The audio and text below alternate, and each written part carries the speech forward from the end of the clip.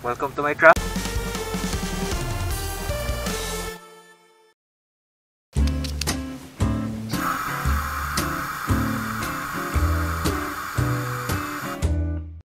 Kahit walang nagtatanong, para sa mga curious akong ano yung dala ko sa bike ko nung nagdingalan tour.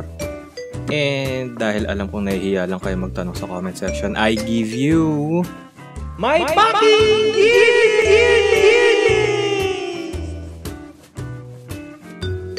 Let's talk about the bike first. I'd like you to meet Bikey Kowangko. Bikey Kowangko. I have a very unique relationship with her. Lagi siyang nandyan para sa akin. Hindi siya drama queen. Hindi nang aaway ng walang dahilan. Hindi niya sasaktan damdamin ko. Hindi nang iiwan no matter what. We've been together for 4 years now and we're still going strong. Come on, Bikey! Spin! Spin, Bikey!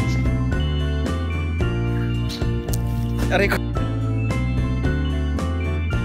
What the fuck is that? She's a custom-made Maldea 8003 disc road bike frame set nung panahon na wala pang disc road bike. Triple triangle design. Triple triangle. Boss, limang buwan ko hinantayan! Yung tube set, it's a Columbus Chromer courtesy of Tryon Bike. Custom made. And custom painted by Teban Pintura. Yung gulong naman is a Continental Ultra Sport 700 by 28C on an H Plus Sun SL42 rims. Sa pagitan ng tires and tubes, merong super light na Pana Racer flat away which is a very reliable tire liner. Sa hubs naman, I have a pair of The Bomb Strafe na pang MTB with pillar spokes. Sa group set naman, I have a Shimano Ultegra 6800 and yes, luma na siya. 5236 crankset with 1132 cassette. I also use a cross top lever for extra safetyness on a 44mm Furion drop bars by the project. Sa preno, I have a BB7 Road SL and it literally took 3 years bago maupod. 10 out of 10 mga sir! Sa likod, I have a Tubus logo Evo na may interior ng gulong para hindi dumulas yung gamit. It's very reliable and definitely worth its price. I got it from Bikeary, Bikeary, Bakery, Bikery, Bicycle Lifestyle Shop. Check their Facebook page sa description. Sa mounting naman, since hindi talaga pang touring yung bike ko, I used a disc brake adapter for mounting. Tulad nito. Kung manipis yung seat stay mo, make sure you choose the 20mm one sa options. Sa harap naman, I'm using a leather Manila cage na tinanggal yung leather. And since wala ngang eyelets yung bike ko for racks, I used a couple of hose clamps per side to fix them in place.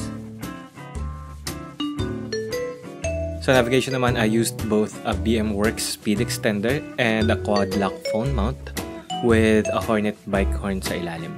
You can use quad lock sa kahit na anong solid phone case and you're good to go.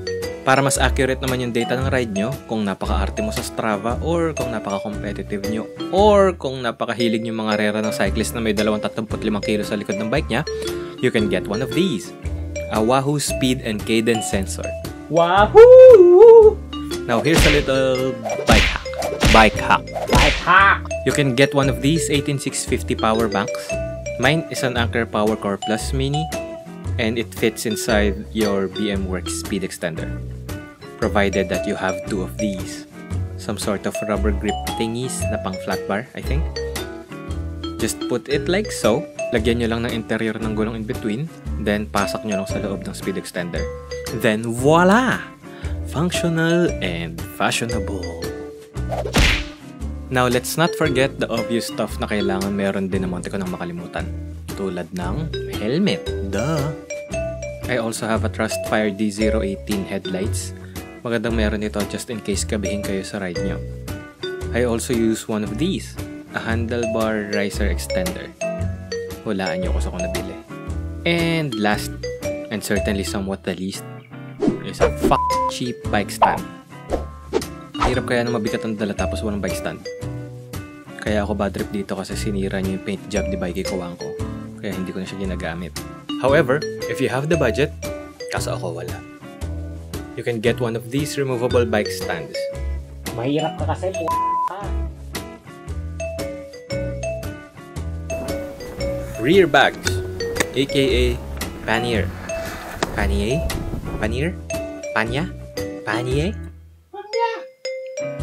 Eh basta! I have a Conquer Dispatch panniers. Yes, plural. It comes in pairs. And for the price, it's a really reliable bag. It does this clicky thing to secure the bag in place. And also got this hook thingy sa ilalim para stable siya.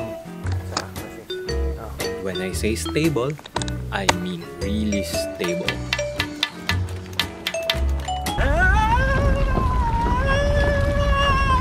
Pilindol na, hindi pa rin natatanggal. Oh, waterproof nga pala siya.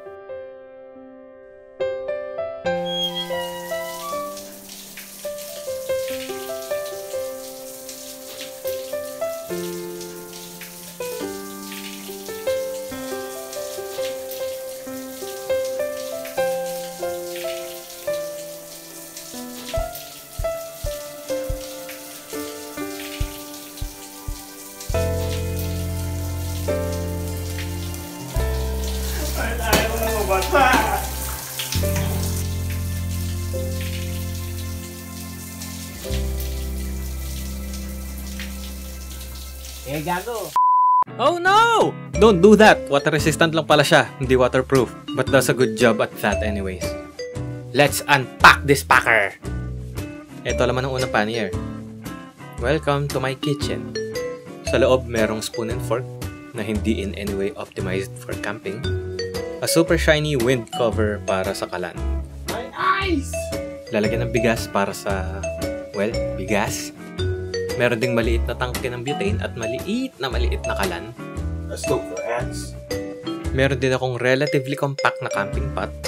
Gumagana naman kahit super cheap and so far reliable.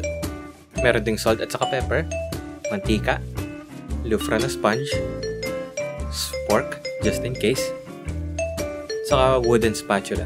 Also meron nga din pala ako ditong life straw. It's one of those just in case items that I have. It's a water purifier. At napakahalaga na alam niyo kung paano siya gamitin. So, tuturuan ko kayo. Take dirty water somewhere, lagay niyo sa straw, then suck that straw.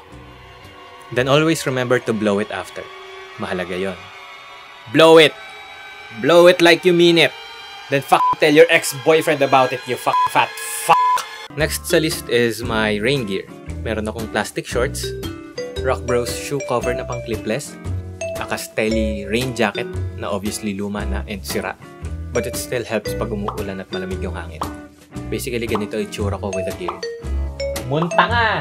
Yung mga suot ko naman na panlamig slash pantulog are jogging pants, mittens, long sleeves, jacket na minsan nakasara, skull cap, and swag. Eh, ulol. Baby, this look of perfection, it doesn't just happen. I work on it, maintain it, strive for it.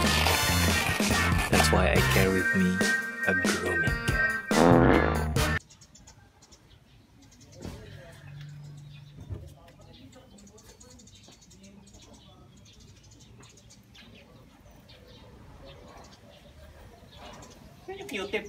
Sa grooming kit, meron akong wet wipes na mapagmahal, Sepguard na sabon, shampoo ninakaw sa Dusit Hotel, eco-friendly laundry detergent, deodorant, a toothbrush na bigay sa akin ng someone that I used to know, and of course, a lip gloss. Para kaysa ba lips palagi. Now let's talk about my shelter inside this compression sack. Sa loob, meron akong cheap ass non-waterproof single-person tent and a sleeping bag. No, I'm not pitching this tent dahil masikip dito sa amin. Cut to the previous footage, you lazy f***. I also want to talk about the tent poles. Ang maganda sa Conquer bags is that it's a roll-top bag. Meaning, pwede nyong i-roll lang sa ibabaw yung tent poles like this.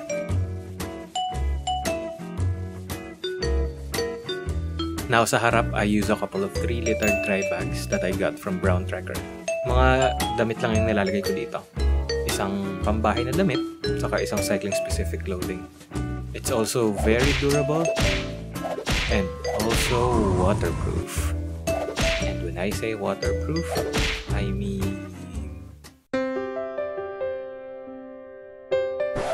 No, no, no! Bad editing! Bad! Nagawa na yan kanina! Now, let's not forget my Zefal trunk bag. Here I have this very useful reflector strips na napakagandang ilagay sa paa for extra visibility kapag gabi. Sa loob we have my headlamp charger, a rubber thingy that's definitely not a ring. Para sa rayoma ko yan. A mini air pump used to pump air maybe? Extra interior ng gulong, 3 liter bladder for extra hydration, extra tent stakes, extra carabiner for carabining things, this garbage action cam mount, my toolkit that has santambak na zip ties with my multi-tool hammer, which is a tool para sa kabutihan.